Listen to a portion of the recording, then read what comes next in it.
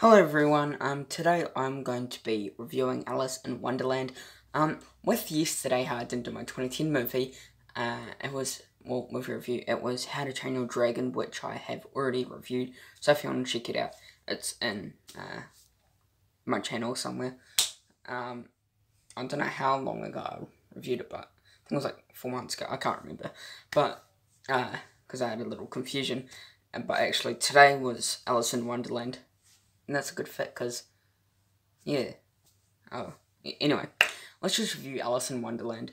It's directed by Tim Burton, screenplay by Linda uh, Wolverton, based on Alice Adventures in Wonderland and Through the Looking Glass by Lewis Carroll, produced by Richard D. Zanuck, uh, Joe Roth, Suzanne Todd, Jennifer Todd, starring Johnny Depp, Anna Hathaway, Helena Bonham Carter, Crispin Glover, Matt Lucas, Mia Wazowska, uh, Mia, Mia Wazowska, whatever how you say it last name, Alan Rickman, Stephen Fry, uh, Michael Sheen, uh, Timothy Spall, uh, cinematography, uh, cinematography from Darius Wazowski, uh, edited by Chris, Chris Lebenzon, uh, music by Danny Elfman, production companies from Walt Disney Pictures, Roth Films, the Zanuck Company, Team Todd, uh, distributed by Walt Disney Studios Motion Pictures.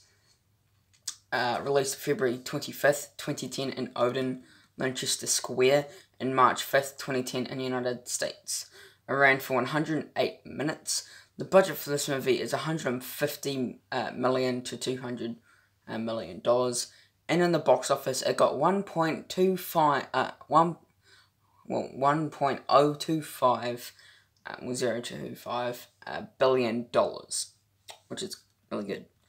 Uh, for well, I can't say my score, but yeah. The plot in London, 1871, troubled by a strange uh, re- uh, recurring dream and mourning the loss of her father, 19-year-old Alice uh, Kingsley attends a garden party at Lord uh, Lord Escot's estate. There she is comforted with an unwanted marriage proposal by Lord Escot's son Hamish, and then shuffling expectations of the sorority in which she lives. Unsure on how to proceed, she pursues and follows a rabbit wearing a blue waistcoat and carrying a pocket watch, and falls into uh, falls into a deep rabbit hole under a tree. She enters a small door by drinking uh, from a bottle labeled "Drink Me," called Push an emergency, an, an emergence uh, to a forest, in a magical place called Wonderland, where she is greeted by a white rabbit, a dormouse, a dodo, talking flowers, and identical twins named Tweedledee and Tweedledum, who are apparently no, who apparently all know her. Uh, yeah. Uh, cast, we've got Johnny Depp as Mad Hatter, we've got Mia Wazowska, as Alice Kingsley, Helena Bonham as the Red Queen, Anna Hathaway as the White Queen, Crispin Glover as Azopho Stan, or the Cave of Hearts. Uh, Matt Lucas is uh, Tweedledee and Tweedledum. I love Matt Lucas. Uh, Frances de la Tour is uh, Alice's aunt. Uh, Leo Bill is Hamish Escort. Uh, Hamish another voice cast. Michael Sheen is the White Rabbit, Alan Rickman is the Caterpillar, Stephen Fry is Cheshire, Barbara Windsor is the Dormouse, Timothy Spall is Bayard Hamar, uh, Paul Whitehouse is the March Hare, Ha, Hare, I don't even know, and more. Um, production Tim Burton signed with Walt Disney Pictures to direct two films in Disney's uh, digital 3D, which included Alice in the Wonderland and its remake of Frankenweenie. Uh, Burton developed the story because he never felt emotional tied to the book. He explained the goal to try to make it an, an engaging movie where you get some of the physiological and some kind of bringing of freshness, but also keep the classic nature of Alice. On prior versions, Burton said it was uh, always a girl wandering around from uh, one crazy character to another, and I really feel, f- and I never really felt any real emotion connection, emotional connection. He his goal uh, with the new film to give this uh, is to give story to give the story some framework on emotional grounding and to try and make Alice feel like uh, like more like this like a story and opposed to the series of events. Um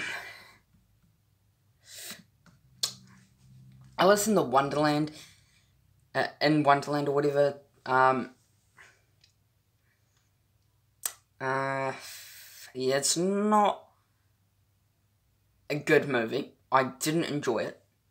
I kind of was, I kind of felt like it was a bland movie and kind of hard to watch. Which, yeah, Alice in, Alice in Wonderland. I mean, Johnny Depp as the Mad Hatter, nah, he, he didn't really have a good story to him. Uh, and then Alice, uh, played by Mia Wasikowska, whatever her last name is, um, she's alright the story to her, yeah, it's fine, but it's not good. Um, it's an okay story.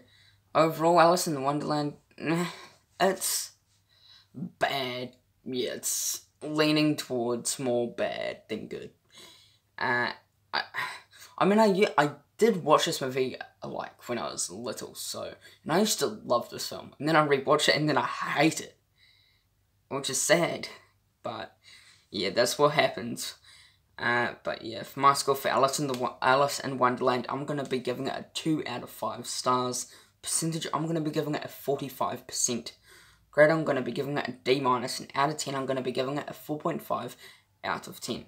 Thank you for watching my review for Alice in, in Wonderland. Stay tuned to my Suicide Squad movie review and Mad Max um, review because I'll tell you why I'm reviewing Mad Max when I do the review. But yeah. Thank you for uh, for watching my review for Alice in Wonderland. Hope you enjoyed it. Please subscribe to, to my channel. Be a big help. Thanks for watching. Take care. Peace.